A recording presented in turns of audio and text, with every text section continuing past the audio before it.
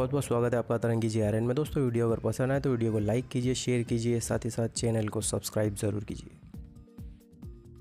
तो दोस्तों, आज इस वीडियो में हम देखने वाले हैं बटरफ्लाई मैजिक फ़ूड प्रोसेसर। देख सकते हैं आप, ये जो फ़ूड प्रोसेसर है और जो बटरफ्लाई कंपनी है, ये क्रॉम्पटन की सब्सिडरी कंपनी आती है। तो देखते हैं हम कि ये जो फ़ूड प्रोसेसर है, वो किस तरह का होने वाला है। India's first full touch jar, जो कि हम आगे वीडियो में देखने वाले आप देख सकते हैं इसका मॉडल नंबर। और किस तरह से जो है ये पावर कंजर्व करता है, देख सकते हैं आप। ये जो फ़ूड प्रोसेसर है मेड इन इंडिया है, कहाँ पर ये मैन्युफैक्चरिंग होता है, किस तरह से। और दोस्तों, अब देखते हैं इसके जो जार है, वो किस तरह से हमको देखने को मिलते हैं। ऊपर एक कैप लगा हुआ है, देखिए आप, इसका जो प्लास्टिक है, काफ़ी स्टर्डी है। और यहाँ पर एक ग्रिप लगा हुआ है, जो कि काफ़ी अच्छी क्वालिटी के सिलिकॉन से बना हुआ है। दोस्तों, अंदर की तरफ़ आप देख सकते हैं, इस तरह से ब्लेड है और एक ब्लेड जो है मिलता है जो कि चॉपिंग के काम आता है दोस्तों, आप देख सकते हैं। इसी तरह का एक और अटैचमेंट आता है, जो इस ब्लेड को लगाने के लिए हमारे काम में आने वाला है। और एक ब्लेड मिलता है जो कि आटे का डो बनाने के लिए जो है यूज़ होता है। और ये एक छोटा जार है, इसकी भी काफ़ी अच्छी जो है क्वालिटी है प्लास्टिक की। गरम मसाला वगैरह आप पीस सकते हैं। और नीचे का जो पोर्शन आप देख रहे हैं दोस्तों, इसके जो जो भी जार है तो एलुमिनियम का नीचे का पोर्शन बना हुआ है, जो कि काफ़ी अच्छी क्वालिटी का है। और ये जार आप देख सकते हैं, ये ही वो जार है जिसकी मैं बात कर रहा था। कूल टच यानी आप कितनी भी देर तक अगर इस पर मसाला वगैरह पीसते हैं तो हाथ अगर आप लगाते हैं तो ये हॉट नहीं होता। प्लास्टिक आउटर लेयर जो इसकी प्लास्टिक की इस वजह से। और ये है विस्किंग जार। जूसर नहीं है विस्किंग जार है और इसके साथ ये एक अटैचमेंट आती है जिसमें आप आटे का डो बना सकते हैं बड़ी आसानी से। और ये जो एक नट है दोस्तों, इसमें एक इशू मुझे ये नज़र आया कि जो नट है, ये थोड़ा सा लूज़ हो जाता है हर बार।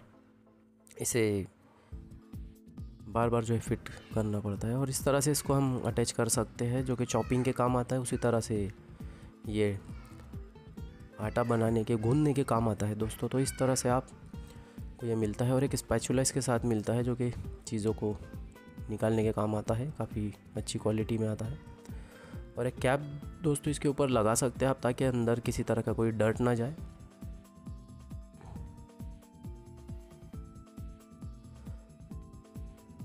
इस तरह से इसे हम फिट कर सकते हैं। अब इसके नीचे की तरफ़ अगर हम देखें तो दोस्तों यहाँ पर एक ओवरलोड बटन हमें नज़र आ रहा है। जो कि अगर ज़्यादा लोड हो जाए तो ऑटोमेटिक बंद हो जाता है, फिर उसे प्रेस करना पड़ता है ताकि मशीन दोबारा ऑन हो जाए और ये नीचे देख सकते हैं आप। किस तरह से जो है मिक्सर हमें देखने को मिलता है, आप पॉज करके भी देख सकते हैं कि उसकी पावर कंजप्शन किस तरह से आती है। और दोस्तों प्लास्टिक की जो क्वालिटी है वो काफ़ी स्टर्डी है। आप देख सकते हैं इस तरह से इसके साथ जो है आपको टोटल फाइव जार मिलते हैं। एक विस्किंग जार उसके अलावा और तीन छोटे जार आपको मिलते हैं। और एक स्पेशल चटनी जार है जो कि आपको रेड कलर का दिखाई दे रहा है। और कुछ वारंटी कार्ड है तो तो इसके साथ जो है टू इयर्स की जो है आपको वारंटी मिलती है।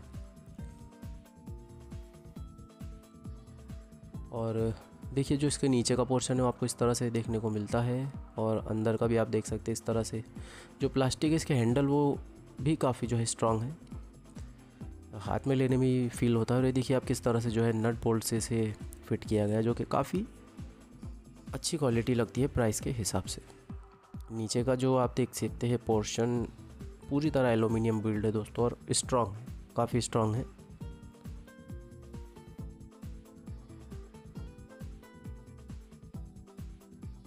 और कुछ अटैचमेंट इसके साथ आती है, जो कि आपको आटा नीडिंग के दौरान काम में आ सकती है। इसको आप इसे लगाए ताकि आटा नीडिंग के दौरान डस्ट बाहर की तरफ़ ना आ पाए। तो करते मिक्सर कौन और आप सुनिए इसका साउंड किस तरह से है।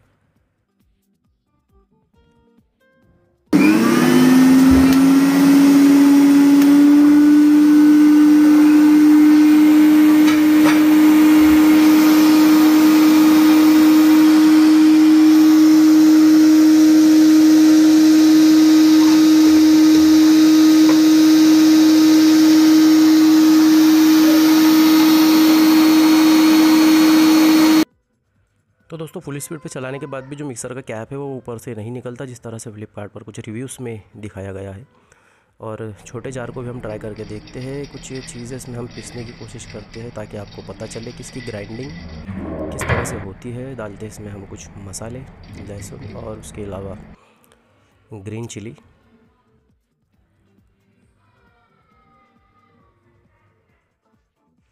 तो लीजिए दोस्तों, इसमें हमने कुछ मसाले डाल दिए हैं और अब करते हैं मिक्सर को ऑन।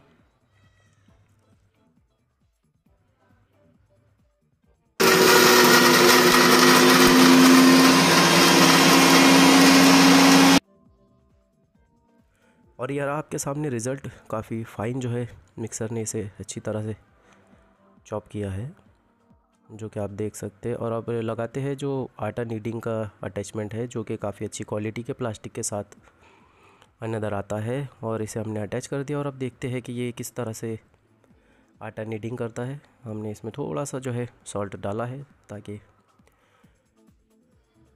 सही तरीके से हमारा जो आटा है वो नीड हो जाए और कुछ आटा हम इसमें डालते हैं दोस्तों।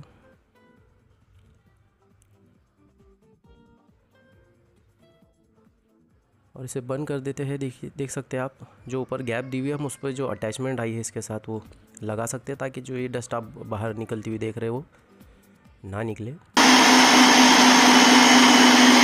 अपने हिसाब से पानी डालते हुए देखिए दोस्तों, इस तरह से जो है ये मिक्सर चलता है, जो कि काफ़ी ठीक तरीके से आटे को नीट करता है। तो देख सकते हैं आप किस तरह से जो है इसके अंदर जो डो है वो तैयार हो रहा है।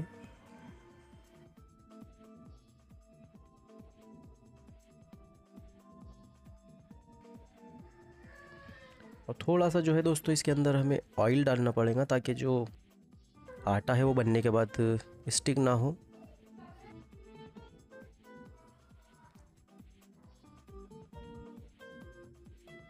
और इस दौरान जो मिक्सर का नॉइज़ है, वो थोड़ा सा बढ़ जाता है क्योंकि जो अटैचमेंट लगी हुई है, इसके अंदर बहुत सारे गियर वगैरह होते हैं, जिसकी वजह से जो साउंड है, वो थोड़ा इंक्रीज़ हो जाता है दोस्तों।